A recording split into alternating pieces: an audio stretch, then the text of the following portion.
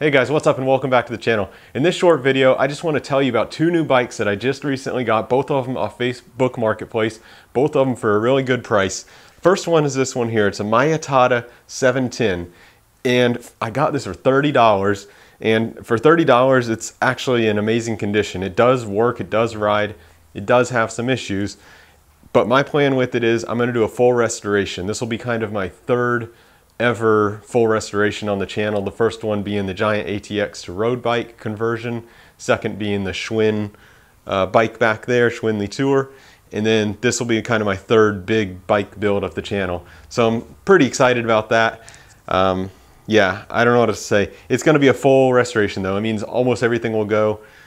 Um, not sure on the color yet. By the way, it is going to be, I'm not going to say painted, maybe painted, maybe powder coated. I have a possibility there too.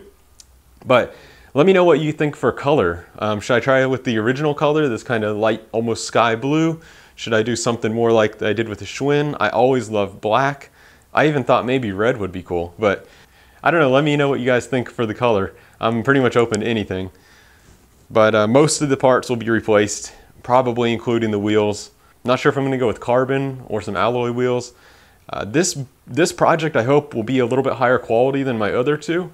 The, the first one was the most hacky-ish. The next one was a little bit more better maybe. This one hopefully will be a little bit more better, but it's still gonna be on a budget. Don't worry about that. I'm always on a budget. I'm super cheap, so that, that's clear. But um, let me know what you guys think. Give me some ideas in the comments on the direction I should go with this bike. Um, by the way, I do plan to bring this with me on a trip to Colorado next year, and so it's gonna need to be able to serve the purpose as both my road bike and light gravel bike. So if there's some light gravel roads, I want to be able to take it on that too. Maybe I'll bring two sets of wheels with different tires for that. So mainly it's going to be a road bike, but it needs to also be able to uh, serve double duty as a gravel bike, a light duty gravel bike. So let me know in the comments what you think. Let's go check out the next bike that I got. Whoa, okay. Now this is a big one. Ah, I had to move things out of the way to get this this tank over here. Ooh. Oh, it's a lot heavier too. Oh, my arms. I don't even know how, I don't even, I don't even know what I'm doing here. I'll, I'll just stay out of the frame so you can see the bike. This is a 1960s AMF Skyrider. I kind of impulse bought this one. Again off Facebook Marketplace, but it was only $50. Um, yeah, it, it just looks so cool with the tank and everything. And back here has like a special rack. I'm not really sure what I'm going to do with this. Should I do a full restoration, taking it all down, you know, painting it or powder coating it, doing everything? Or should I do kind of a minimal restoration where I just kind of fix it up, clean up the paint the best I can, try to fix that rust the best I can? I'd definitely be getting rid of this basket. I don't think this was supposed to be on here really.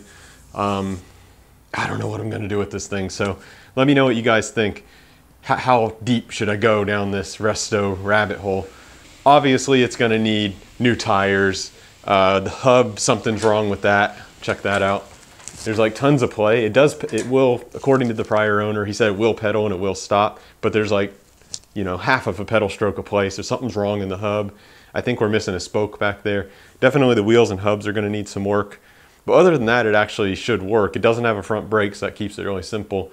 Um, then you know, the paint and, and stuff like that. The rust isn't too bad. There is a spot here that has some surface rust where the where the paint is worn out completely. And I see this uh, just now. I seen that this um, this rear rack is totally broken here, so I'll have to fix that somehow.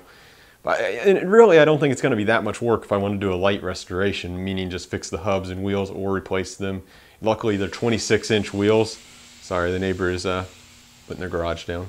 Yeah, as I was saying, they're 26 inch wheels, so I could probably get some pretty cheap, pretty simple wheels just about anywhere if I wanted to.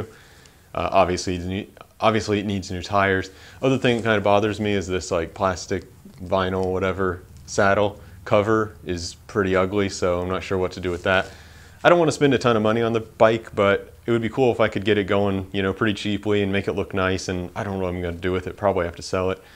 So anyway, let me know what you think about this bike and if you have any idea what the year is. From what I've heard and read, and I can't find like on a serial number or something like that with this bike, but from what I'm seeing, it's probably made in the 60s, possibly like the mid 60s. So let me know if you have any knowledge on, on old AMF, you know, uh, cruiser bikes.